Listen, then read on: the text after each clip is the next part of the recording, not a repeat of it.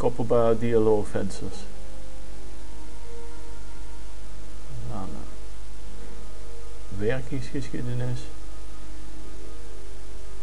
Daar maak ik weer nieuwe tabs aan. Lagen.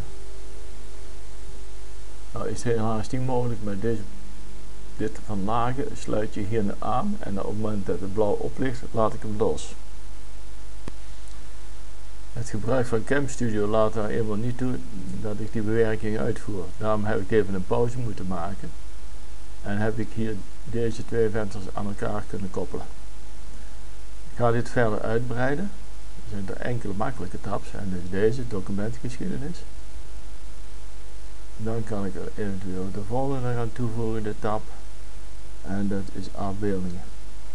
Vervolgens zet ik er hier nog eentje bij, dat is die bewerkings, of dat ongedaan hebben, bewerkingsgeschiedenis. Daar komt er nog bij. De volgende tab, en dat is paden.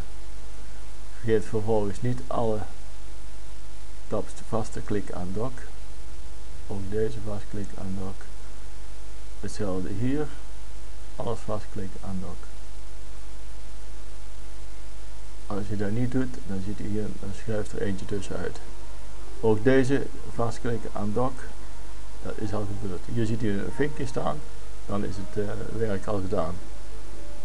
Dat was het. Mocht dit venster verdwijnen, dat hieronder zit, even hier vanaf, hier dit venster, dan maak je het venster gereedschappen, zit hier,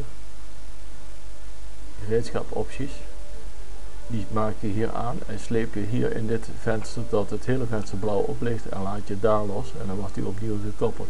Kan wel eens gebeuren dat deze ook uitgesleept wordt.